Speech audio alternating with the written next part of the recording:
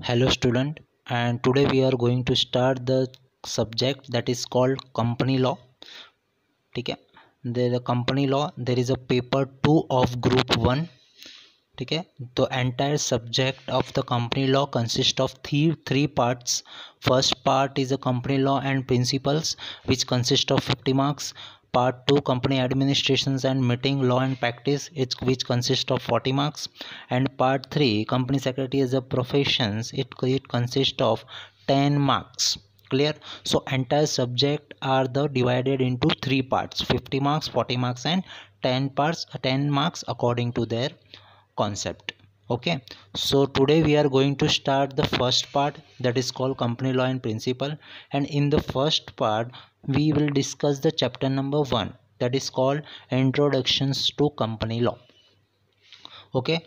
So before starting the chapter i want to tell you some important 2 to 3 things. Okay. First thing it is a professional exam. It is a not a college exam okay? So uh, what is the difference between college exam and professional exam? In professional exam you have to you have to uh, clear about the concept. You don't want the lengthy answer. Professional exam always talks about quality not a quantity. So and it is a law language is a legal language. So you don't want to uh, heard uh, means uh, you you don't uh, have to have to keep कि मुझे legal language आना ही चाहिए, मुझे law language आना चाहिए मैं कम ऐसा कुछ नहीं है। अगर आप if your concept is clear तो क्या होगा? आप अपने लैंग्वेज में भी आंसर लिख सकते हो। ठीक है? कॉन्सेप्ट क्लियर मैं करवा दूँगा। सेकेंड थिंग ये जो मैंने नोट्स प्रिपेयर किया है, वो मॉड्यूल से ही प्रिपेयर किया है। ठीक है? तो module is very lengthy module में देखोगे तो आप तो पता ही नहीं चलेगा क्या है। तो मैंने मॉड्यूल से टॉपिक्स और कवर किए हैं। मॉड्यूल से जितना ही अपने को मटेरियल रिक्वायरमेंट है, उतना ही मैंने इसमें ऐड किया ठीक है? So you don't have to worry about the कि भाई अभी एक ही ये नोट्स पढ़ेगी तो क्या होगा and all nothing worry about it I have covered question answer also I have covered case law also exam में केस लॉज वगैरह जो भी आते हैं, ठीक है? सो आपको कोई दूसरी नोट्स देखने की ज़रूरत नहीं है एक्सेप्ट दिस क्लियर और पहले ही बताया क्वालिटीज़ रिक्वायर्ड है क्वान्टिटीज़ रिक्वायर्ड नहीं है, ठीक है? तो अब इन स्टार्ट करते हैं the first chapter okay. That is chapter number one introduction to company law. ठीक है? For company secretary profession for company secretary student as well as employ company law is very much important because company law जो है, एक जो law बनता है वो companies के लिए रहता है। जितनी भी इंडिया में कंपनी है, उसके लिए कंपनी एक्ट एप्लीकेबल है। ठीक है? तो in currently companies act two thousand is going on ठीक है? पहले था कंपनीज़ एक्ट 1956 जो एक्ट बनता है, वो ईयर में पास होता है, वो एक्ट के अकॉर्डिंग कंपनी को चलना पड़ता है। पर as for but in light of the companies act companies act 2013 company secretaries के लिए बहुत इंपॉर्टेंट है। सो so दैट क्या कर सकते हो आप? फ्यूचर में अगर आप जॉब एंड ऑल जाओ तो आप उसको अच्छे से कंपनी में आपके नॉलेज को यूज़ कर सको। क्लियर तो first chapter is a basic about the company law this chapter also helps to other subject in their executive ठीक है? तो आपको ये चैप्टर बहुत ही वेरी इंपॉर्टेंट चैप्टर क्योंकि बेसिक लेवल को कि भाई कंपनीज़ एक्ट क्यों बना, कैसे आया, ठीक है? This is all about thing ठीक तो will see one by one if you are S P student you will know about some topics and some concept but don't worry about it I will do everything so first part is a introduction part अभी देखो, कोई भी act बनता है ना Indian government कोई भी act पास करती है तो एक ईयर में पास करती है। तो अभी कौन सा चल रहा है, मैंने क्या बताया? Today companies act two thousand thirteen earlier it was companies act nineteen fifty six and before nineteen fifty six is nineteen thirteen before nineteen thirteen eighteen eighty two before eighty eighty two eighty fifty seven also and Indian companies act का history ठीक है? But अपने को कौन सा पढ़ना है? Latest वाला। It is called companies act two thousand 2013 जो कभी पास हुआ था 2013 में ही पास हो गया था ठीक है? बेसिकली 2014 में पास हुआ था बट uh, अपनी गवर्नमेंट ने 2013 में पास कर लिया था। और जो पास किया तो उसका रीज़न क्या रहता है? कोई भी एक्ट में अमेंड करने का या नया एक्ट लाने का? क्योंकि कुछ प्रीवियस एक्ट में कुछ ना कुछ मिस्टेक है जो बाद में जाके पता चलता है। That's why the amendment is necessary changes in the act is very important clear तो किसने किया? एक एक्सपर्ट कमिटीज़ रहती है, जो ये सब एडवाइस देती है कि अपने को एक्ट में कुछ अमेंड करना है कि नहीं। So for this company law one committee is there that is called doctor G J Irani expert committee on company law ठीक है? They they had submitted the report to the government कि भाई company companies act 56 में ये mistake है और अपने को अभी नया कंपनीज़ एक्ट लाना है, जो उसमें डिस्कशन होता है कहाँ पे गवर्नमेंट के अकॉर्डिंग सब लोग डिस्कस करते हैं, लाना है, नहीं लाना है। And after that finally companies act को क्या किया गया? पास किया गया। क्लियर सो कंपनीज़ एक्ट 2013 के बारे में अभी अपन स्टार्ट करते हैं फ़र्स्ट चैप्टर जो है अपना, ठीक है? This it is this chapter is very important for you ठीक है? This chapter is basic level foundations of your executives ऐसे समझ लो। ये चैप्टर में आपको भी सब समझ में आता है डिफरेंट टाइप्स ऑफ़ कंपनी तो आगे जाके आपको सब कॉन्सेप्ट क्लियर हो जाएगा। क्लियर सो कंपनीज़ एक्ट 2013 ठीक है? देखो टू थर्टी अगस्त 2013 में ये क्या हो गया था? पास हो गया था। वो क्या हुआ? जो क, क, कोई भी नया एक्ट क्यों आता है? Because of the earlier act में कुछ ना कुछ क्या है मिस्टेक है। है समझ में? जब कोई भी एक्ट स्टार्ट होता है कंपनीज़ एक्ट 2030 तो फ़र्स्ट टॉपिक ऑलवेज क्या रहता है? Definitions part what is a definitions part तो what is the meaning of the company देखो कंपनी में, इस company this introduction part basic level part ये सब एग्ज़ाम में नहीं आएगा. टेंशन मत लो.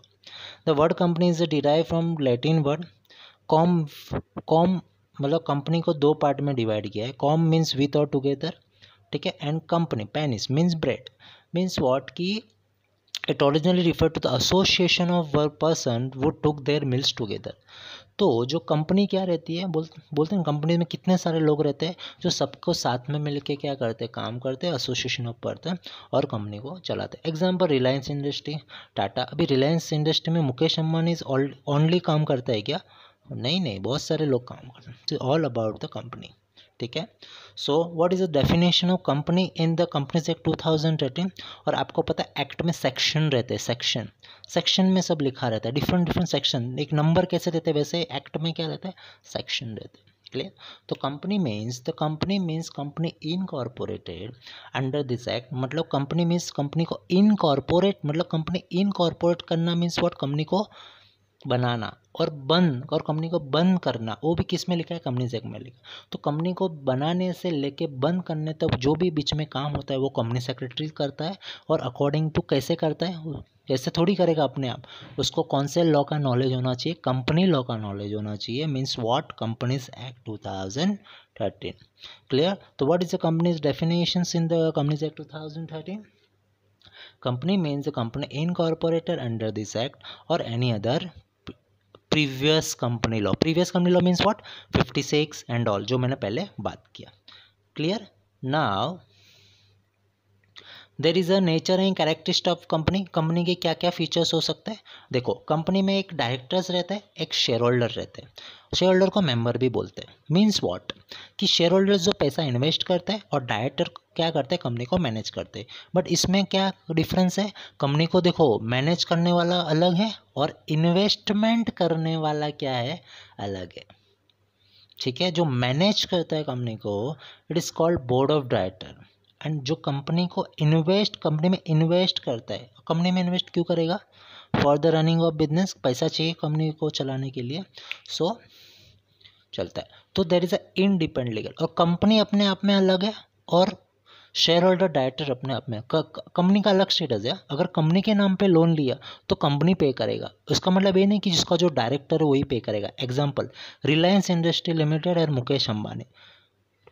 Yes Reliance Industry Mukesh Ambani का ही रिलायंस है। बट अगर रिलायंस ने अगर लोन लिया तो it is I am not saying कि मुकेश अंबानी ने लोन लिया। क्यों? क्योंकि there is a independent legal entity separate legal entity Reliance is अलग, मुकेश अंबानी इज़ डिफरेंट आया समझ में? So there is a independent legal entity means what there is a देखो बोर्ड मैनेज कौन करता है कंपनी को? बोर्ड ऑफ़ डायरेक्टर आपका पैसा इन्वेस्ट कौन करता है? Will invest the money in the company share holder and company itself its different आया समझ में?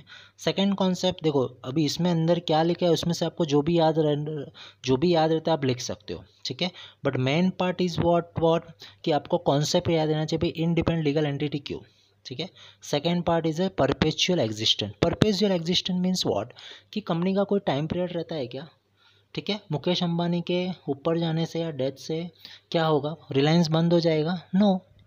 ठीक है कंपनी चलते ही रहता है। There is a perpetual existent means life time there is a no fix term of the life की भी इतने साल कंपनी चले। कंपनी चलती रहे कोई नहीं तो कोई मुकेश अंबानी नहीं तो उसका लड़का चलाएगा, ठीक है?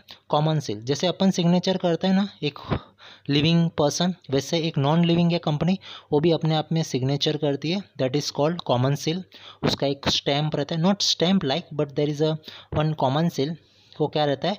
वो कंपनी का सिग्नेचर है। ठीक है कंपनी का खुद का, क्योंकि कंपनी का एक सेपरेट लीगल एंटिटी है ना कंपनी अपने आप में एक डिफरेंट है दैट्स वाई ठीक है?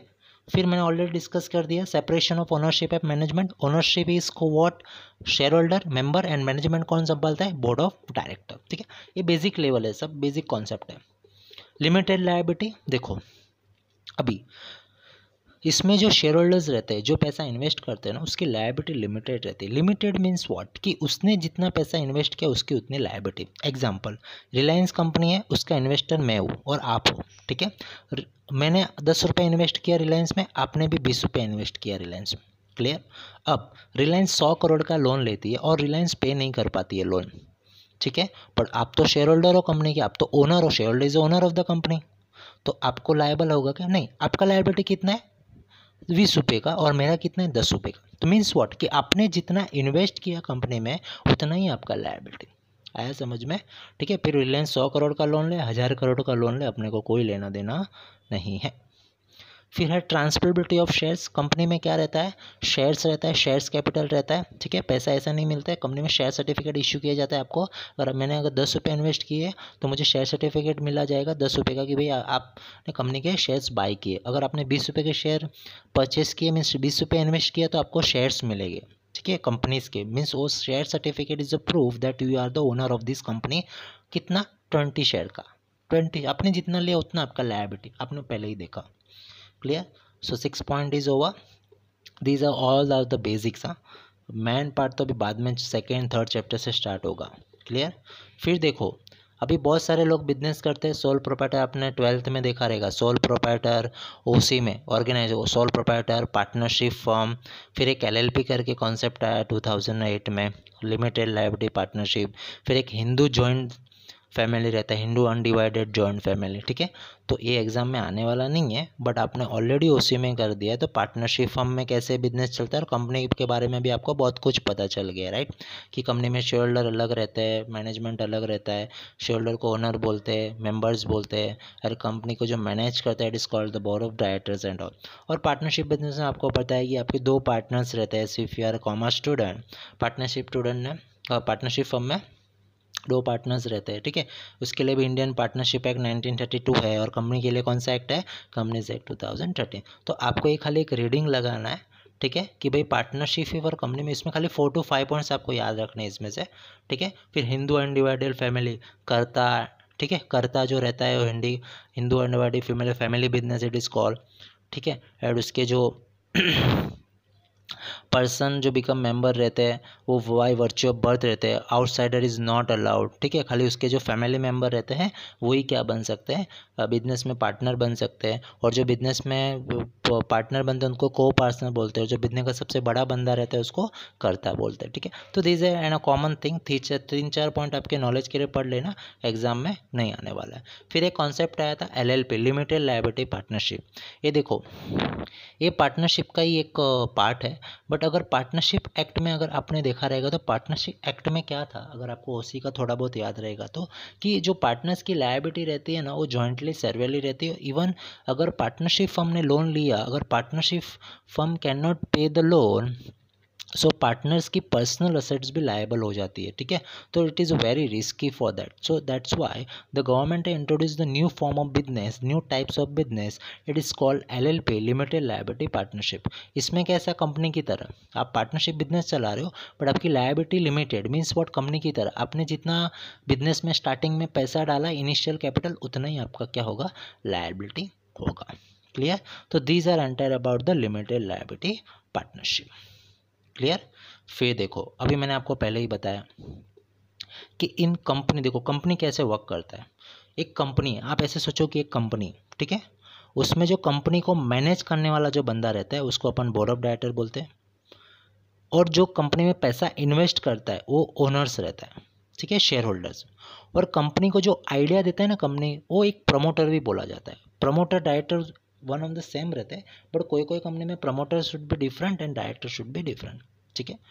एंड तो क्या हो गया? Separation of ownership of management means what पैसा कोई और लगा रहा है और कंपनी कोई और चला रहा है। तो कहीं ना कहीं रिस्की है ना?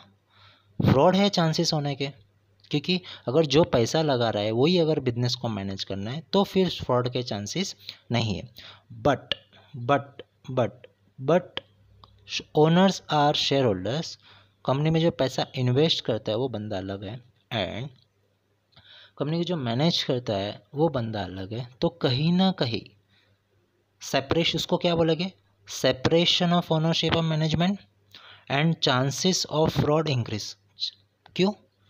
सीधी बात है कंपनी एक तो अपने आप में अलग है, मैंने आपको पहले ही बताया। कंपनी को कोई मैनेज करने वाला और है कंपनी के शेयर होल्डर कोई और है। तो कहीं ना कहीं there is a chances of fraud तो ऐसे अगर फ्रॉड चलते गए तो क्या होगा? कंपनी थोड़ी फिर आगे आएगा कंपनी को तो कहीं ना कहीं प्रॉब्लम होगा। ठीक है? तो ये समझ में आया कंपनी कैसे चलता है? सो so, नेक्स्ट से थोड़ा हैवी वाला पार्ट स्टार्ट हो रहा है। इसके लिए पहले ये समझना नेक्स्ट टॉपिक समझने से पहले ये टॉपिक समझना बहुत ज़रूरी है। सो टिल नाउ अपन ने क्या क्या देखा? पहले company act two thousand thirteen से पहले कौन सा एक्ट था? नाइनटीन फिफ्टी सिक्स ठीक है? फिर कंपनी की definition I. Company means company incorporated under companies act 2013 and and under previous company law ठीक है? फिर उसके अपने फीचर्स देखे। कंपनी अपने आप में अलग है। कंपनी में पैसा इन्वेस्ट करने वाला अलग है और कंपनी को मैनेज करने वाला कोई अलग है। ठीक है? Perpetual existence means what company का कोई लाइफ पीरियड है क्या? लाइफ टाइम चलता रहता है। ठीक है? दादा, पापा, बच्चे सब। कॉमन सेल कंपनी का अपने अपने एक सिग्नेचर रहता है। That is called common seal फिर there is a separation of ownership management already we discuss limited liability already discuss जितना अपने पैसे इन्वेस्ट किया उतनी उतनी लाइबिलिटी फिर कंपनी भले ही लोन ले या लॉस के अपने को कुछ लेना देना नहीं है। ट्रांसफरबिलिटी ऑफ़ शेयर्स कंपनी के शेयर आप ट्रांसफ़र कर सकते हो। अगर आपको नहीं चाहिए शेयर्स तो आप क्या कर सकते हो? दूसरों को ट्रांसफ़र कर सकते हो। ठीक है? फिर इसमें से मैंने जो ये टॉपिक बताया फिफ्थ टॉपिक कि कंपनी को डिफरेंट फॉर्म ऑफ़ बिज़नेस से कंपेयर किया है तो आपको इसमें से फोर टू फाइव पॉइंट्स पढ़ने हैं। ठीक है? इंपॉर्टेंट नहीं एग्ज़ाम में ऐसा सब नहीं आता है।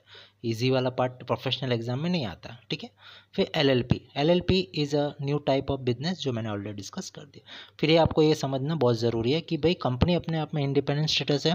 कंपनी में पैसा इन्वेस्ट करने वाला ओनर है and manage by the board of director that's why the chances of fraud increase because company has independent legal status company manage by board of director and share holder invest the money ठीक है into the company आया? Clear till now. Now, the sixth topic. This is a very important topic. Chances of questions in the exams in for, from this topic is very high. Clear so ये topic को अच्छे से समझना। ये topic है क्या? देखो, क्या लिखा है? Doctrine of lifting of piercing the corporate veil ठीक है? डॉक्ट्रिन मीन्स कुछ मैगजिम रूल्स ऑफ़ लिफ्टिंग और piercing of the corporate veil lifting और प्रीजिंग मीन्स व्हाट की उठाना। कॉरपोरेट वेल मतलब जो कॉरपोरेट मीन्स कंपनी के जो पर्दा लगा है उसको उठाना। तो कभी उठाया जाता है। ठीक है? तो reason for this concept is what कि जो मैंने आगे बात किया ना chances of fraud increase this reason ठीक है? क्योंकि चांसेस ज़्यादा है फ्रॉड तो गवर्नमेंट क्या करती है कि भाई वो जानती, वो जानना चाहती है कि भाई एक फ्रॉड होता है, कंपनी में जब फ्रॉड होता है तो उसके पीछे कौन है? तो ये पर्दे के पीछे कौन है? तो क्या करना पड़ेगा? पर्दे को उठाना पड़ेगा। अगर पर्दे को उठाना पड़ेगा, वो कॉन्सेप्ट को अपन क्या बोलते हैं? Doctrine of lifting of piercing the corporate veil आया समझ में? फ़र्स्ट कैसे कॉन्सेप्ट को समझना है? फ़र्स्ट कंपनी का एक अलग इंडिपेंडेंट स्टेटस है, ठीक है? कंपनी वो will manage the company who is managing the company, board of director, who will, who is the invest in the company share holder ठीक है? जो चांसेस ऑफ़ फ्रॉड ज़्यादा है, ठीक है? वो फ्रॉड होते फ्रॉड होते के, क्योंकि सबका अलग अलग कोई कुछ भी करे, किसी को कुछ आंसर देना ही नहीं है। तो मीन्स वॉट कि फिर chances of fraud increase that's why क्या करना गवर्नमेंट क्या करेगी? फ्रॉड हो रहा है तो फिर देखना पड़ेगा। हाँ पर्दे के अच्छे सब दिख रहे हैं। मैनेज ये कर रहा है बोर्ड ऑफ़ डायरेक्टर कर रहे हैं शेयर होल्डर इन्वेस्ट कर रहा है एंड ऑल बट पर्दे के पीछे क्या चल रहा है, वो जानने के लिए गवर्नमेंट क्या करती है? Lifting and corporate veil so there are the various judicial interpretations for this concept judicial interpretation means what कि बहुत सारे पहले ऐसे केसेस आए हैं, जिस पे क्या हुआ है, एक डिसीज़न आ गया है कि भाई इसे डिसीज़न दिया गया। तो कोर्ट ने डिसीज़न दिया कि भाई ऐसा हुआ था पहले और हम लोग ने ये डिसीज़न दिया है। तो जिस जुडिशियल इंटरप्रिटेशन कौन से केसेस में? ए वाला डॉक्ट्रिन ऑफ़ कॉरपोरेट वेल आप जैसे अब जैसे समझोगे, आपको समझ में आएगा, ठीक है? फॉर मेरे साथ आपको चलना रहेगा दिस अ प्रोफेशनल एग्ज़ाम आपको भी थोड़ा माइंड ओपन रखना रहेगा, ठीक है? ये कोई कॉलेज वाला इजी एग्ज़ाम नहीं कॉलेज वाला, ठीक है? It is a professional exam you have to be updated you have to be smartness ठीक है? Professional exam is not only hard work hard work with smart work ठीक है? That smart work is very important part देखो तो इसके अपन case laws देखते कि क्या क्या हुआ था। तो कॉरपोरेट वेल कभी होता है मीन्स कभी इन्वेस्टिगेशन होता है कि पर्दे के पीछे, जाने के पर्दे के पीछे का राज, कि भाई पर्दे के पीछे क्या है? आगे तो सब अच्छा दिखता है बट चोरी कौन कर रहा है पता नहीं। तो देखो where the corporate veil has in use कभी जब कॉर्पोरेट वेल यूज़ किया जाता है कमीशन ऑफ़ फ्रॉड और इम प्रॉपर कंडक्ट तो court have lifted the veil मतलब कोर्ट डिसाइड करती है कि भाई पर्दा उठाओ और देखो पीछे कौन है, इसके पीछे का राज क्या है, ठीक है? This called the corporate lifting बोलते इसके पीछे का राज क्या है? This concept in corporate world it is called lifting of corporate veil ठीक है? अभी देखो, एक केस लॉ देखोगे ना, एक केस में एक्चुअल में हुआ है 1962 में, देखो क्या है? A agree to sell certain land to B A ने क्या किया कि भाई कुछ लैंड थी, वो बी को सेल करने की एग्री हुआ। Pending completion of formalities of set deal A sold and transfer land to the company ठीक है? क्या किया? बी को ट्रांसफ़र करने से पहले ही उसने क्या किया? एक कंपनी को ट्रांसफ़र कर दिया। ठीक है? This was done in order to expect degree of means what की बी को तो पता ही नहीं। पहले एग्री किसके साथ हुआ? बी के साथ हुआ। बट ए ने क्या किया? सीधा कंपनी, कोई कंपनी को क्या कर दिया? सेल कर दिया। भाई, तुमने ऑलरेडी बोला है कि भाई, तुमने ऑलरेडी बोला है कि मैं बी को सेल करूँगा तो how can you transfer to the land to B ठीक है? अभी बी को तो क्या लगेगा कि मुझे ए से लैंड लेना है बट ए ने क्या किया? बी को बेचने से पहले अपनी प्रॉपर्टी किसको ट्रांसफ़र कर दी? कंपनी ने। अभी कोर्ट ने क्या बोला? Court held that the company was the creature of A but वो कंपनी को जो ट्रांसफ़र किया, वो कंपनी ऑलरेडी किसकी थी? ए की थी। ठीक है? And the mask to avoid recognition eyes of equity A must complete in the contract see had the full control of limited company in which property was vested and was in position to cause the contract in question to be fulfil ठीक है अभी आपको ये पता नहीं चला because legal language है। तो सुनो अभी मैं क्या बोलता हूँ। ए ने पहले क्या किया? ए ने पहले बोला कि मैं आपको कुछ लैंड सेल करना चाहता हूँ बी को। तो क्या किया? तो बी को क्या पता है? ए कौन इंडिविजुअल पार्टी है। तो बोला कि मुझे ए से मिल जाएगा। बट आफ्टर डैट क्या हुआ? एक एक कंपनी थी। वो पहले क्या किया? ए ने खुद की कंपनी को खुद की लैंड दे दिया।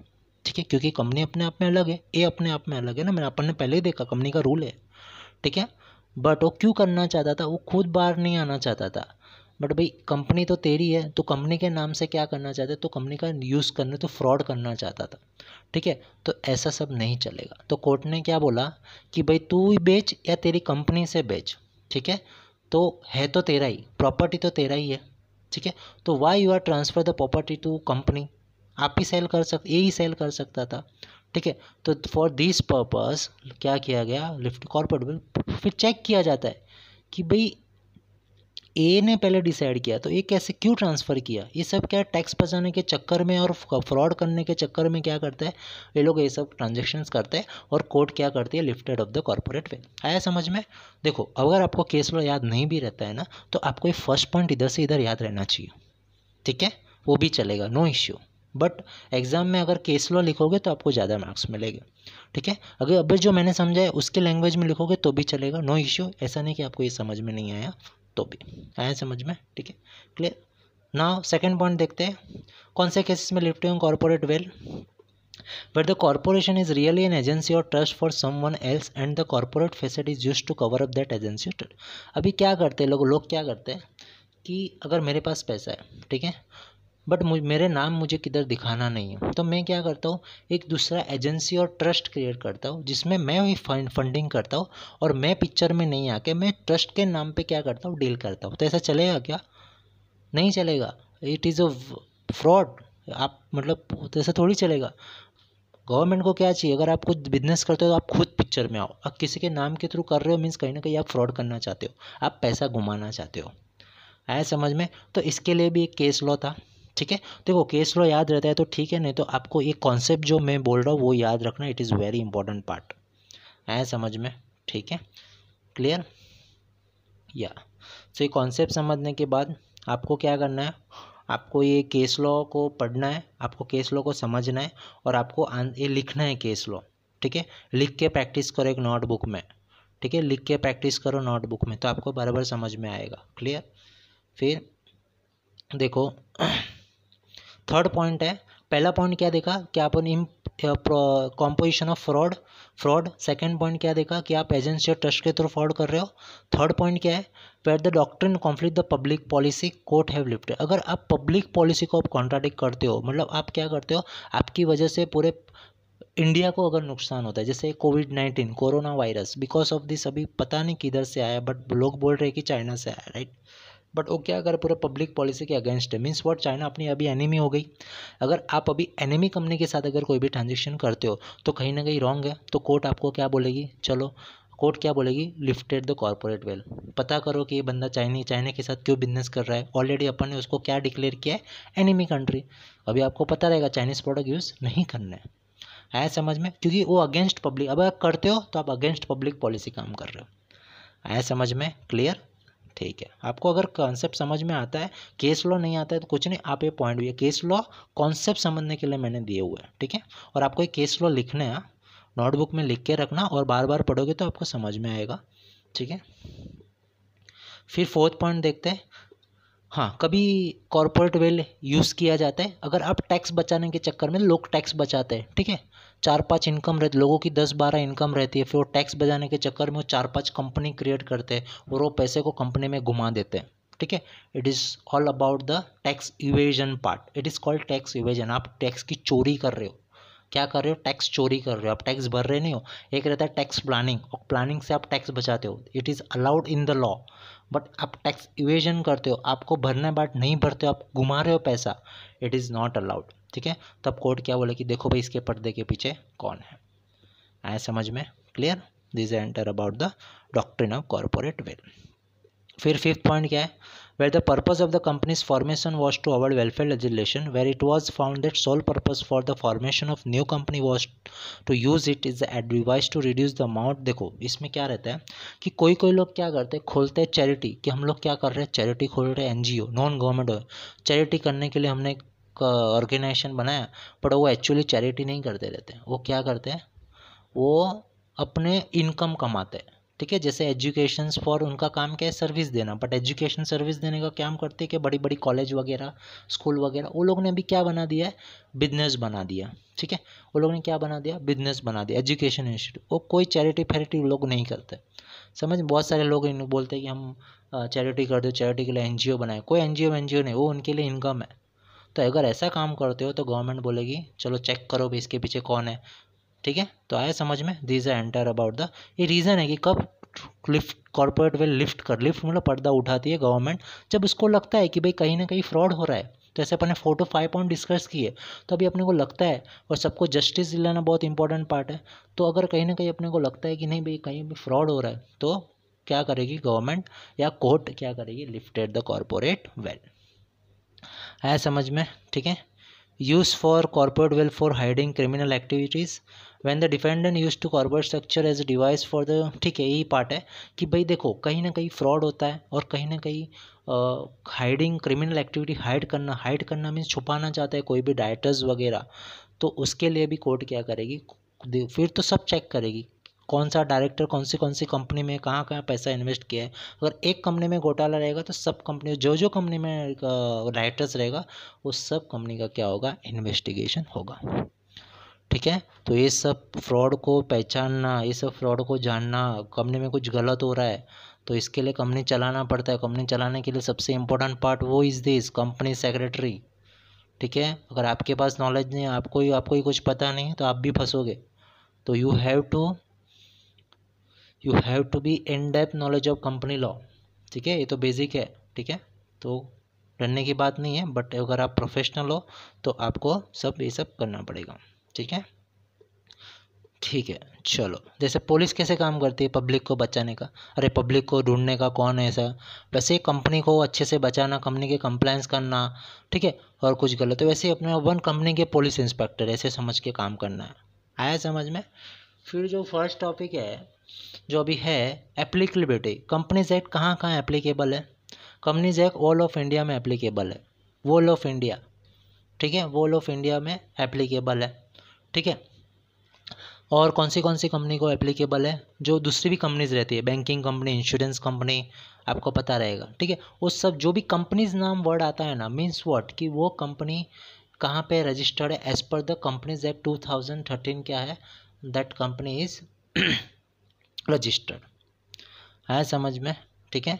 देखो companies is not applicable to the in unincorporated company ठीक है? ऐसा कुछ भी मतलब दो चार मिल के नाम कंपनी रख दिया तो उसका मीनिंग कंपनी नहीं होता है। ठीक है? और हिंदू अनडिवाइडेड फैमिली को भी companies act two thousand applicable नहीं है। आया समझ में? तो कंपनीज़ मीन्स प्रॉपर कंपनी होनी चाहिए। वो तो कंपनी बनने के बाद वो गवर्नमेंट से सर्टिफिकेट आता है मिनिस्ट्री ऑफ़ कॉर्पोरेट अफेयर्स से, कि भाई आपने कंपनी हमारे वहाँ पे क्या किया है? रजिस्टर्ड किया है। है समझ में? अभी डिफरेंट टाइप्स ऑफ़ कंपनी के बारे में बा, बात करते हैं कि कितने कितने टाइप्स की कंपनी रहती है और उसके क्या क्या फीचर्स रहते हैं। है समझ में? ठीक है? So will see one by one so जो फ़र्स्ट टाइप है वो है one person company as name suggest one person can incorporate the company एक बंदा भी कंपनी खोल सकता है एक कॉन्सेप्ट है वन पर्सन कंपनी ठीक है? उसमें मेंबर भी वही रहेगा डायरेक्टर भी वही रहेगा और कंपनी में एक ही मेंबर रहेगा। It is called one person company फिर जो सेकेंड टाइप है वो है प्राइवेट कंपनी प्राइवेट कंपनी क्या बोलते हैं? जो प्राइवेट कंपनी मीन्स कि प्राइवेट कंपनी मीन्स उसकी जो मिनिमम नंबर कितने हो, होने चाहिए? टू मेंबर होने चाहिए। प्राइवेट कंपनी में मिनिमम नंबर कितने होने चाहिए two and maximum two hundred पहले फिफ्टी थे but now increase the limit to the two hundred ठीक है? तो पहले कौन सी कंपनी देखी अपन ने? वन पर्सन कंपनी उसमें वन मेंबर वन डायरेक्टर भी। क्या कर, एक बंदा भी कंपनी खोल सकता है। सेकंड अपन ने क्या देखा? प्राइवेट कंपनी प्राइवेट कंपनी में मिनिमम टू मेंबर होने चाहिए और मैक्सिमम टू हंड्रेड पहले फिफ्टी था, अभी उसको टू हंड्रेड कर दिया है। राइट फिर रहते हैं small company small company means the company other than public company मतलब स्मॉल कंपनी को पब्लिक कंपनी में नहीं गिना जाता। बट कैसे डिसाइड किया जाता है कि स्मॉल है? अगर स्मॉल बोला है तो कैसे? तो कंपनी में क्या रहता है? शेयर कैपिटल रहती है, आपको पता रहेगा। तो शेयर कैपिटल कितने कंपनी की? फिफ्टी लैख से कम है। ठीक है? और टर्न जो कंपनी का टर्न जो सेल्स रहता है ना सेल्स वो कितना? है टू करोड़ से कम है।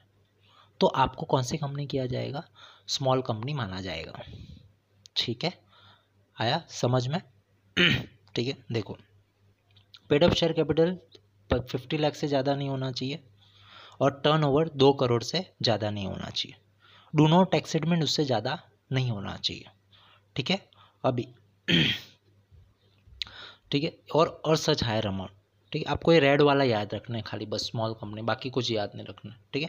तो क्या मॉड्यूल में था तो मैंने सब ऐड किया है। मैंने मैक्सिमम मॉड्यूल को आपको देखना ही नहीं, मैंने सब टॉपिक ऐड किया, ठीक है?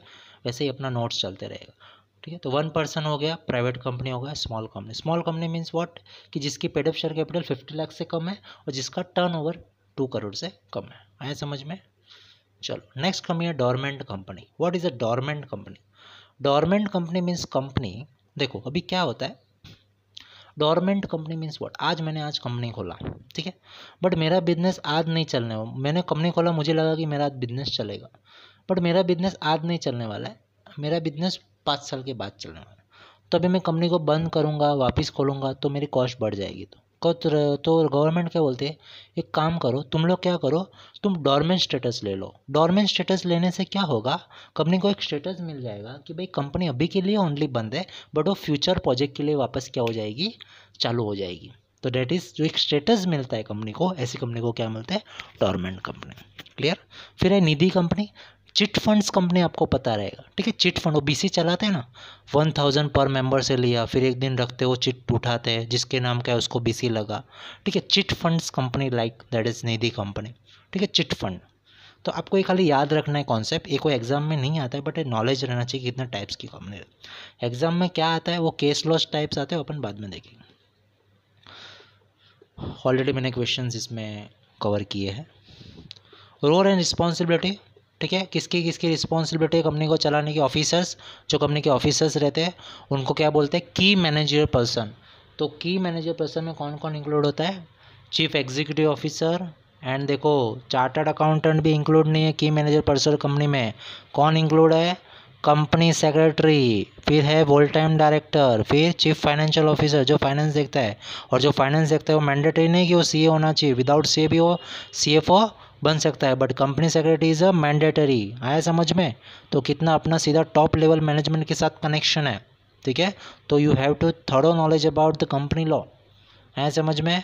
देर इज़ एंटर अपन की मैनेजर पर्सन है। की manager means important person for the company to run the company to functions of the company आया समझ में? क्लियर फिर देखो प्रमोटर्स रहते हैं, मैंने बताया कि जो कंपनी चलाते नहीं कंपनी के डायरेक्टर होते हैं, ना कंपनी के शेयर होल्डर होते हैं बट वो प्रमोटर्स क्या देते हैं? वो आइडिया देते हैं बिज़नेस के लिए, ठीक है? जो आइडियाज़ देते हैं, या तो डायरेक्टर भी हो सकते हैं और शेयर होल्डर भी हो सकते हैं, ऐसा कुछ कंपलसरी नहीं है बट ऑलवेज प्रमोटर डायरेक्टर होना, या वो होना कोई कंपलसरी नहीं है promoter should be different promoter is different board of director में भी डिफरेंट एंड शेयर होल्डर में भी डिफरेंट बट तीनों भी हो सकते हैं। देखो, मैंने सब इंक्लूड किया। तीनों भी हो सकते तो ये प्रमोटर्स बंदा रहता है जो बिज़नेस आइडिया देता है। फिर एक इंडिपेंडेंट डायरेक्टर रहते है। इंडिपेंडेंट जो डायरेक्टर रहते हैं, वो कंपनी से अपनी कंपनी के कनेक्टेड नहीं रहते। वो अपने को इंडिपेंडेंटली अपॉइंट करना पड़ता है। वो लोग बहुत नॉलेजेबल रहते हैं। ठीक है? तो इंडिपेंडेंटली पूरे कंपनी को अपन कुछ फ्रॉड तो नहीं कर रहे। इसके लिए इंडिपेंडेंट के घर पे जैसे बोलते हैं ना अभी घर के ही सब मिले हुए हो तो वो एक इनडिपेंडेंट आउटसाइडर बंदा आवे तो अपने घर के कैसा ध्यान रखता है? घर वाले को तो पता ही वैसे ही कंपनी में अंदर अंदर के सब मिले रहते हैं बट कोई कंपनी में एक बंदा इंडिपेंडेंट डायरेक्टर बन जाए तो कहीं ना कहीं फ्रॉड करना अपने लिए मुश्किल हो जाता है that's why the independent director is introduction है समझ में? फिर है audit and auditors auditor auditors audit आपको पता रहेगा स्टेटरी ऑडिटर्स कंपनी में रिक्वायरमेंट है, ठीक है? बैलेंस शीट बनाएगा ऑडिट करेगा चार्टर्ड अकाउंटेंट ठीक है? फिर एक सेक्रेटरी ऑडिट रहता है, जो कंपनी सेक्रेटरी प्रैक्टिस जो प्रैक्टिस करते हैं ना, ठीक है? कौन सी कौन सी और लिस्टेड कंपनी को सेक्रेटरी ऑडिट रिक्वायरमेंट है, फिर कौन सी कौन सी कंपनी को पब्लिक कंपनी जिनकी paid of share capital fifty crore से ज़्यादा हो पब्लिक कंपनी किसको बोलते हैं, वो सब आने वाला है इन डिटेल फिर कब, जिनका turnover two hundred fifty crore से ज़्यादा हो, और जिनका लोन फिफ वन हंड्रेड करोड़ से ज़्यादा हो। तो कौन सी कौन सी कंपनी को सेक्रेटरी ऑडिट करवाना पड़ेगा, जो कंपनी सेक्रेटरी करते हैं, जो चार्टर्ड अकाउंटेंट करते हैं, उसको हम स्टेटरी ऑडिट बोलते हैं, ठीक है फाइनेंशियल ऑडिट बोलते हैं बट जो कंपनी सेक्रेटरी ऑडिट करते हैं कंपनीज़ में, उसको सेक्रेटरी ऑडिट बोलते हैं। कौन सी कौन सी कंपनी को एप्लीकेबल है? Listed company every public company having of share capital of rupees fifty crore और more every public company having turnover of rupees fifty crore और मोर एर एवरी कंपनी हैविंग लोन ये तीनों में से कोई भी है और है बीच में, तीनों में से कोई भी कंडीशन अगर सेटिस्फाई हो जाती है, एक भी, कोई भी तीनों में से एक भी कंडीशन अगर फॉल होती है तो ये सब किसमें दिखेगा? कंपनी की बैलेंस शीट देखिए उसमें दिखता है। आए समझ में उसको सेक्रेटरी ऑडिट रिक्वायरमेंट है क्लियर फिर है सेक्रेटरी स्टैंडर्ड अपने institute of company secretary of India अपने इंस्टीट्यूट ने एक सेक्रेटरी स्टैंडर्ड इश्यू की है कि भाई तुमको अगर ऑडिट वॉडिट करना है तो क्या क्या आपको एक स्टैंडर्ड को फॉलो करना पड़ेगा? That is called the I C S I issue the secretary standard for the secretary audit ठीक है? फिर है C S R concept corporate social responsibility आपको, आप अगर कमा गवर्नमेंट बोलते हैं, अगर कुछ कमाते हो तो आपको थोड़ा बहुत दान, धर्म करना पड़ेगा। तो इसके लिए कॉरपोरेट सोशल रिस्पॉन्सिबिलिटी ठीक है? कंपनीज़ जो अगर कोई भी सोशल एक्टिविटी में पैसा देती है, उसको अपन क्या बोलते हैं कॉन्सेप्ट को कॉर्पोरेट सोशल रिस्पॉन्सिबिलिटी ठीक है? ये सब ओनली नॉलेज के लिए बता रहा हूँ। ये आपको खाली एक नॉलेज के लिए इन डिटेल आपको सब आने वाला है आगे। आया समझ में? तो आपको टेंशन लेने की बात नहीं, आपको खाली एक ध्यान रखने में जो बोल रहा हूँ जो मैं पढ़ रहा हूँ, ठीक है? फिर है formation of incorporation of company अगर आपको एक प्राइवेट कंपनी बनानी है तो टू और मोर पर्सन से बना सकते हो। अगर आपको एक पब्लिक कंपनी बनानी है तो सेवन और मोर पर्सन आया समझ में? तो पब्लिक कंपनी के लिए सेवन परसेंट चाहिए minimum maximum no limit private company के लिए मिनिमम टू परसेंट मैक्सिमम मैंने बताया, कितना? Two hundred not fifty fifty पहले था now it is increase to two hundred फिर एक बंदा भी, एक बंदा भी खोल सकता है कंपनी बताया मैंने? हाँ यस वन पर्सन कंपनी है समझ में? फिर है कंपनी में कौन से एक तो लिमिटेड बाय शेयर्स या तो आप शेयर्स दे के कंपनी खोल सकते हो शेयर कैपिटल इंट्रोड्यूस करके, या तो गारंटी दे के मीन्स आप प्रॉपर्टी वगैरह दे के असेट्स वगैरह दे के या गारंटी भाई इतनी गारंटी मेरी, मैंने सौ करोड़ की प्रॉपर्टी कंपनी को दी तो मेरी सौ करोड़ तक की मतलब लाइबिलिटी और कम अनलिमिटेड कंपनी मतलब कंपनी में कोई लाइबिलिटी नहीं, अरे लिमिट लाइबिलिटी मतलब अनलिमिटेड लाइबिलिटी तो very risky but 99 percent of the company company limited by shares ही होती है। ठीक है? तो ये दोनों कॉन्सेप्ट इतने इंपॉर्टेंट नहीं है। कुछ लोग ही but main company limited by shares जो शेयर इश्यू करती है ओनर्स लोग को, और अपने को उसके बदले में क्या मिलता है? शेयर सर्टिफिकेट आया समझ में? अभी कुछ इंपॉर्टेंट डेफिनेशंस की बात है जो अपन देखना पड़ेगा। Company means what company means incorporated definition है इंपॉर्टेंट डेफिनेशन ठीक है? ये आपके नॉलेज के लिए। फ़र्स्ट चैप्टर फॉर नॉलेज के लिए। ठीक है? उसमें से क्वेश्चन आएँगे एक दो, मैं आपको बता दूँ कौन सा क्वेश्चन आएगा। Don't worry about it company limited by guarantee ठीक है? आपकी लिमिटेड गारंटी रहती है कि आप जितना असेट इंट्रोड्यूस किया है कंपनी में, उतनी आपकी लाइबिलिटी फिर company limited by share as usual जो आपको शेयर परचेज करने पड़ते हैं और आपको शेयर सर्टिफिकेट दिया जाता है, ठीक है? फिर है प्राइवेट कंपनी देखो प्राइवेट कंपनी की डेफिनेशन इधर मैंने प्रॉपर दी हुई है। अभी इसके पहले कोई minimum paid up share capital requirement नहीं है। प्राइवेट कंपनी मीन्स व्हाट जो प्राइवेट कंपनी रहती है, वो उसके शेयर ट्रांसफ़र नहीं कर सकते प्राइवेट कंपनी में रिस्ट्रिक्शन है, ठीक है? फिर उनकी लिमिट कितनी है? टू हंड्रेड है मैक्सिमम और प्राइवेट कंपनी अगर प्राइवेट है तो वो पब्लिक से पैसा नहीं ले सकती मीन्स पब्लिक को शेयर्स दे के पैसा नहीं ले सकती, ठीक है? तो प्राइवेट कंपनी किसको बोलते हैं? जो जिसके शेयर ट्रांसफ़र नहीं होते मिनिमम टू मेंबर रहने चाहिए मैक्सिमम टू हंड्रेड ठीक है? और वो मार्केट से पब्लिक से शेयर्स को इश्यू करते पैसा नहीं ले सकते। आया समझ में? It is called private company अगर, देखो इसमें नोट लिखा है मुझे when two or more person hold one और more shares in company in jointly shall be treated as a single member अगर आपने और मैंने साथ में मिलकर अगर कोई रिलायंस के शेयर लिए तो उसको रिलायंस एक ही काउंट करेगी। ऐसा नहीं कि दो शेयर जॉइंट में लिए ना तो एक ही काउंट करेगी। आया? बट बट अब टू हंड्रेड का कैलकुलेशन करना पड़ेगा ना अपने को कि भाई टू हंड्रेड पचास से टू हंड्रेड में कौन से कौन से इंक्लूड होते हैं, कौन से कौन से नहीं। तो देखो पर्सन हुआ एम्प्लॉयमेंट ऑफ़ द कंपनी जो बंदा कंपनी में काम भी करता है मतलब एम्प्लॉय भी है और उसके पास कंपनी के शेयर्स भी है तो वैसे लोग वो टू हंड्रेड की लिमिट में इंक्लूड नहीं होंगे। और जो सेकेंड है बी टॉपिक वो एग्ज़ाम्पल से समझेगा। ठीक है? अभी देखो कौन से कौन से इंक्लूड नहीं हो, बस डज नॉट इंक्लूड एक तो जो एम्प्लॉयमेंट में अभी जो प्रेजेंटली काम कर रहा है, उसको टू हंड्रेड की लिमिट में कैलकुलेशन में नहीं लेना है। फिर जो एग्ज़ाम्पल देखते हैं अपन, मिस्टर एटीन टू थाउज़ेंड अभी देखो पर्सन वो been formerly in the employment of the company formerly means what कि वो 2015 में वो एम्प्लॉय था और were member of the company और वो मेंबर भी था। ठीक है? And that employment and have continue to be member after the employment cease shall not be include the member of the company देखो 2015 में वो एम्प्लॉय भी था मेंबर भी था तो उसको इंक्लूड किया जाएगा।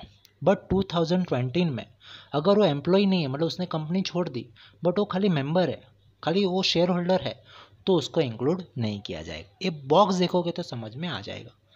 कौन से कौन से टू हंड्रेड में इंक्लूड नहीं हो गए या तो जो प्रेजेंटली काम कर रहे हैं, वो इंक्लूड नहीं हो गए जो अभी इसके ले सकते और जो पहले एम्प्लॉय थे बट अभी नहीं है। खाली वो क्या है? मेंबर है। एम्प्लॉय नहीं है। छोड़ दिया कंपनी रिलायंस छोड़ दिया टाटा में चले गए। पहले रिलायंस में थे, अभी रिलायंस से टाटा में चले गए बट मेंबर है रिलायंस के। एम्प्लॉय नहीं है रिलायंस के। उसको इंक्लूड नहीं किया जाएगा। और कोई भी चीज़ आपको नहीं समझ में, आप लिखो। नोटबुक बनाओ फ़र्स्ट चैप्टर ये पॉइंट मुझे नहीं समझ में आया, जो भी लिखो। लिखोगे, पढ़ोगे दो तीन बार so it will be clear आया समझ में? दिस प्रोफेशनल एग्ज़ाम राइट फिर एक रहती है होल्डिंग कंपनी होल्डिंग कंपनी का एक अच्छे से आपको एक एग्ज़ाम्पल दो. एक होल्डिंग रहता है, एक सब्सिडरी कंपनी होल्डिंग मीन्स अपने पेरेंट्स सब्सिडरी मीन्स अपन चाइल्ड है समझ में? पेरेंट्स का अपने ऊपर होल्ड रहता है होल्ड ठीक है? और सब्सिडरी मीन्स व्हाट अपने ऊपर पेरेंट्स का होल्ड रहता है होल्ड पेरेंट्स पेरेंट्स अपने ऊपर होल्ड करते हैं कंट्रोल और सब्सिडरी कंपनी मीन्स अपने ऊपर पेरेंट्स का होल्ड रहता है. तो बट कभी, जब फिफ्टी परसेंट से सब्सिडरी कंपनी कभी माना जाएगा, आप, अगर आपका मीन्स वॉट कोई कंपनी का दूसरी कंपनी में फिफ्टी परसेंट से ज़्यादा होल्ड है कंपनी ए का कंपनी बी में फिफ्टी परसेंट से ज़्यादा होल्ड है तो company A is holding company और कंपनी बी सब्सिडरी कंपनी क्यों? कंपनी ए पेरेंट्स है कंपनी बी चाइल्ड है.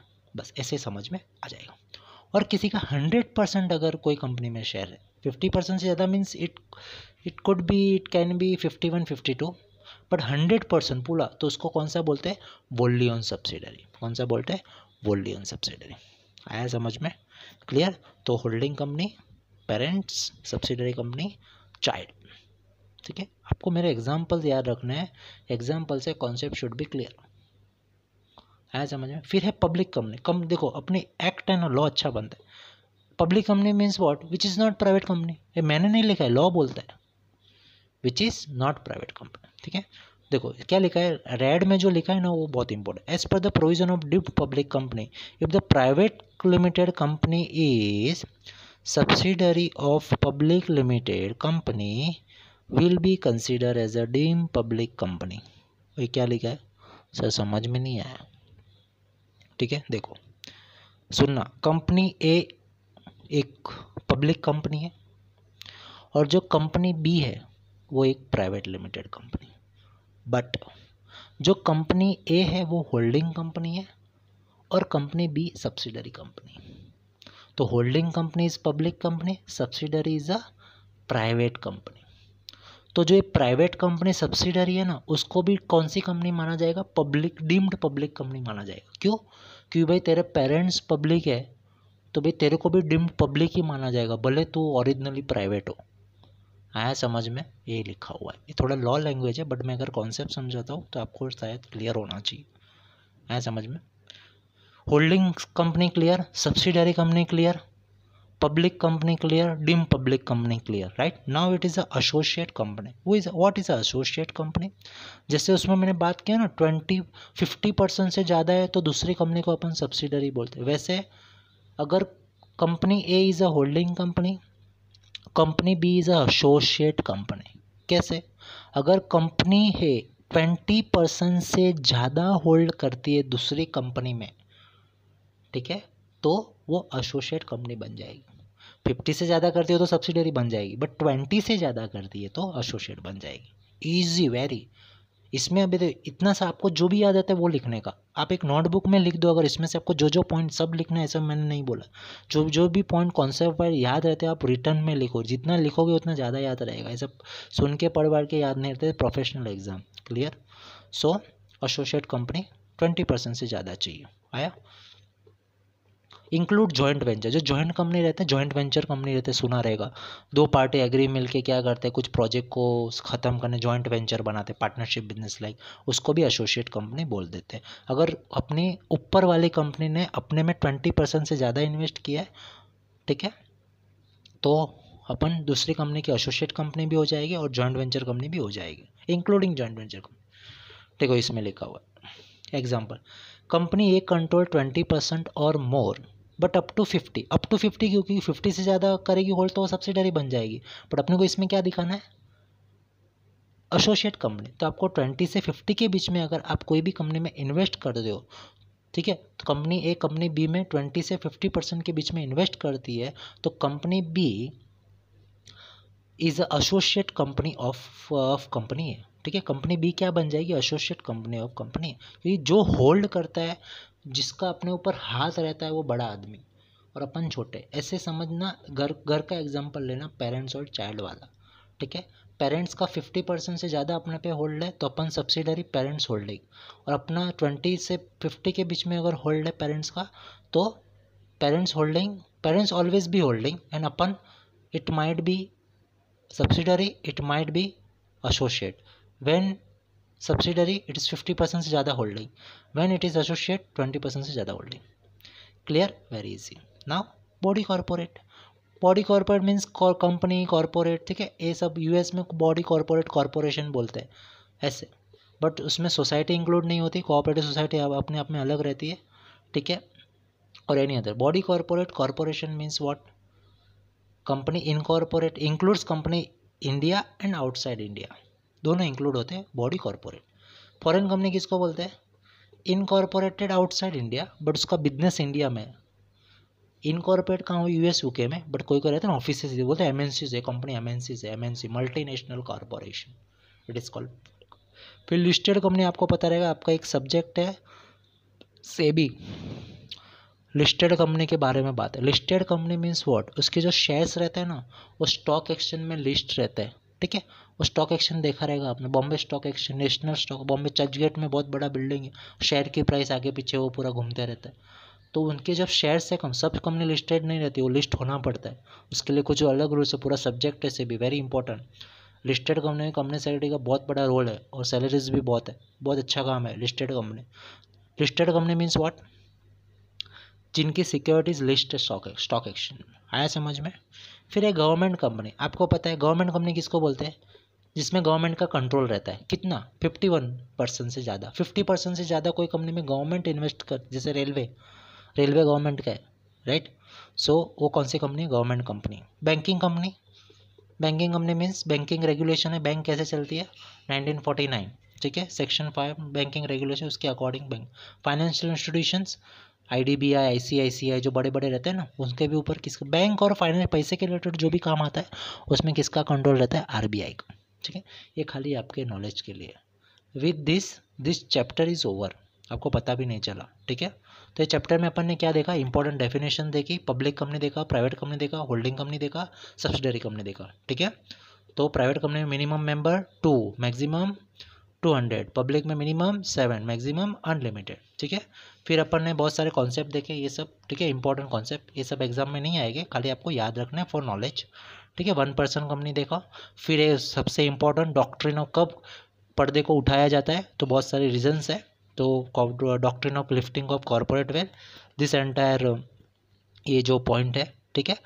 So with this this chapter is over अभी अपन आते हैं क्वेश्चन आंसर शीट में क्योंकि कैसे क्वेश्चन आते हैं एग्ज़ाम में? गुम देखो, घुमा फिरा के क्वेश्चन आते हैं, पूछते हैं वो लोग डायरेक्टली ऐसा नहीं पूछेंगे what is a company what is a public company घुमा फिरा के पूछेंगे। आपको बताना कॉन्सेप्ट देखो। देखते हैं, ठीक है? प्रैक्टिकल क्वेश्चन देखो। क्या लिखा है? The companies act does not provide statutory recognition to doctrine of corporate which only judicial interpretation this regard to concept अभी ऐसा क्वेश्चन आया तो आपका आंसर में क्या लिखोगे?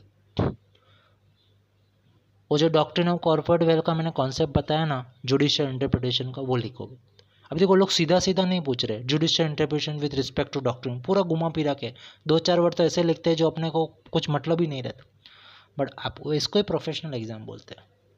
पूछते ईजी है बट स्टूडेंट डर जाते हैं, ठीक है? बट होता वही है। फिर देखो, मैंने क्या बोला कंपनी में दो share holder minimum two members होने चाहिए प्राइवेट कंपनी में, और पब्लिक में कितने होने चाहिए? सेवन अगर वो नहीं है तो कंपनी आप नहीं चला सकते। देखो, क्या लिखा है?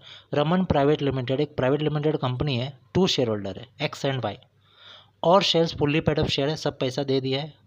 X sold all his share to Y X ने सब शेयर सोल्ड कर दिए किसको? वाई को। अभी तो कितने शेयर होल्डर बचे? अगर एक्स ने सब शेयर सोल्ड सोल्ड कर दिए, बेच दिए वाई को तो कितने शेयर बचे?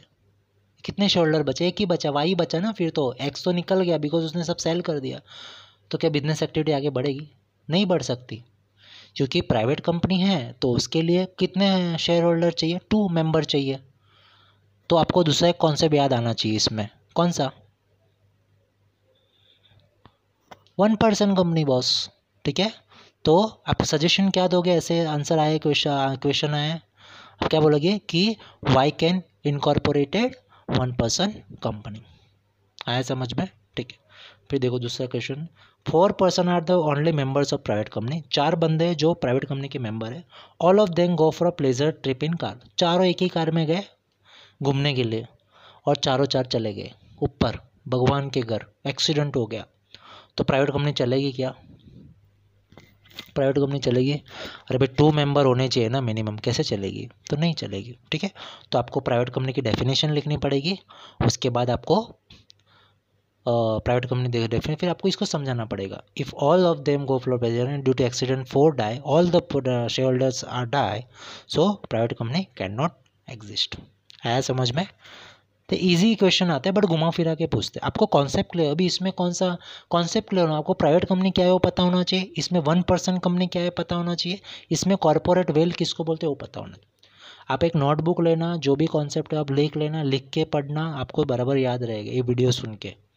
ठीक है? फिर देखते हैं सेकेंड वाला question the members of the private limited consist of A and B A and B member भी है, वो खुद अपने आप में डायरेक्टर भी है, बन सकता है।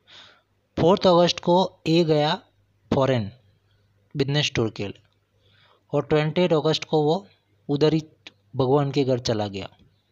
ठीक है? तो अभी कितने डायरेक्टर बचे? ए तो मर गया तो बी बचा। तो और फ़र्स्ट सितंबर को बी ने क्या किया? दस हज़ार के गुड्स लिए, सी से। अरे भाई, तेरी प्राइवेट लिमिटेड कंपनी है। दो मेंबर तो मिनिमम चाहिए। अगर दो मेंबर नहीं है तो आप बिज़नेस चला ही नहीं सकते। तो आप बिज़नेस नहीं चला सकते तो फिर आप गुड्स कैसे परचेज कर सकते हो? तो भी सी बी ने ले लिया सी से। तो अब इसके लिए कौन लायबल कंपनी लायबल या बी अकेला लायबल बी अकेला लायबल ना भाई? बी को पता है कि ये चला गया है। मैं बिज़नेस एक डायरेक्टर से चला ही नहीं सकता। तो B is a personally liable बराबर ना? बी लाइबल है पर्सनली लाइबल कंपनी पैसा नहीं देगा। कौन देगा? सी बी अकेला देगा। क्योंकि भाई एक बंदे से थोड़ी कंपनी चलती है। मैंने पहले ही ना बोला। है समझ में? वेरी इजी फिर है शॉर्ट नोट वगैरह आती है कई कई perpetual succession transferability of share limited liability of share holders corporate personality one person company ठीक है, ये ऑलरेडी मैंने आगे डिस्कस कर दिया। अभी देखो, इसमें आपको करना क्या है? आपको ये जो मैंने क्वेश्चन दिए ना, पहले आप चैप्टर पढ़ोगे मेरी नोट्स से। ठीक है, जो नहीं समझ में आता है, वो आप मेरी वीडियो बार बार सुनोगे तो आपको समझ में आ जाएगा। उसके बाद आप क्वेश्चन लिखोगे और उसके आंसर लिखोगे आप। ठीक है आंसर लिख के मुझे फ़ोटो भेजना है आपको। ठीक है, मुझे फ़ोटो भेजना है आंसर लिख के, जो भी right wrong it is not मुझे जानना है कि आपको, मैं जो समझा रहा हूँ, समझ में आ रहा है कि नहीं। ठीक है, जो भी राइट रॉन्ग देख के लिखो या जो भी लिखो, आपको कॉन्सेप्ट समझ में आना चाहिए, मुझे उससे कोई लेना देना नहीं। कॉन्सेप्ट शुड भी क्लियर देख के लिखो, चलेगा भाई। बट आप कॉन्सेप्ट शुड भी क्लियर कॉन्सेप्ट में कुछ भी नहीं आना चाहिए। ठीक है तो ये क्वेश्चन आपको लिखना है, पहले आपको मेरा पूरा चैप्टर पढ़ना है, फिर आपको ये क्वेश्चंस लिखने हैं और आंसर लिख के मुझे भेजना है। ठीक है फ़ोटो भेज देना कागज़ पे या लिख के नोटबुक में लिख में तो भी चलेगा। ठीक है कोई टेस्ट वगैरह तो नहीं है बट आपको मुझे मुझे जानना है कि भाई मुझे स, मैं जो समझा रहा हूँ आपको समझ में आ रहा है कि नहीं because it is online lecture ठीक है बिकॉज़ ऑफ़ दिस कोरोना थोड़ा डिफ़िकल्ट हो जाएगा बट ठीक है आपको मेरे हिसाब से मेरे जो एग्ज़ाम्पल आप देखोगे तो आपको समझ में आ जाएगा। ठीक है with this chapter is over thank you very much आप मुझे फ़ोटो बाद में भेज जब भी हो जाए chapter wise okay thank you very much